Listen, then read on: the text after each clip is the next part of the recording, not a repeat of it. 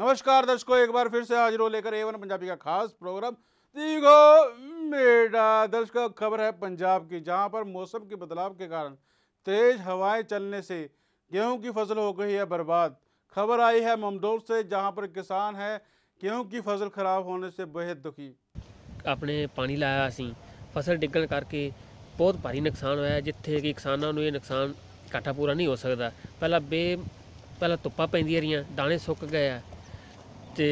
ਹੁਣ ਫਸਲ ਤੇ ਬਾਰਿਸ਼ ਦੀ ਮਾਰ ਪੈਣ ਕਰਕੇ ਕਿਸਾਨ ਬੇਹਾਲ ਹੋ ਜੀ ਇਹ ਆ ਵੀ ਜਿੱਦਾਂ ਹਵਾ ਆ ਨਾ ਵਗੇ ਫਿਰ ਤਾਂ ਝਾੜ ਠੀਕ ਵ- ਵ- ਵੱਧ ਸਕਦਾ ਜੀ ਜੇ ਹਵਾ ਚੱਲਦੀ ਰਹੀ ਤੇ ਕਣਕ ਡਿੱਗ ਕੇ ਫਿਰ ਇਹਦਾ ਝਾੜ ਘਟ ਜਾਣਾ ਜੀ ਤੇ ਬਾਰਿਸ਼ ਕੱਲ ਜਿਹੜੀ ਕੱਲ ਬਾਰਿਸ਼ ਪੈ ਗਈ ਉਹਦੇ ਨਾਲ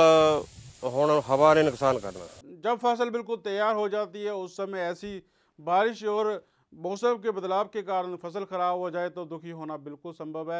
अब देखना ये होगा कि सरकार इन किसानों के लिए क्या करती है। और दोस्तों, जिस तरह से मौसम बदला है, क्या सरकार भी बदलेगी इस बार ग्यारह मार्च को? तो ज़्यादा जानकारी के लिए देखते रहे निडर निरपक्ष और नई सोच रखने वाला चैनल एवन पंजाबी।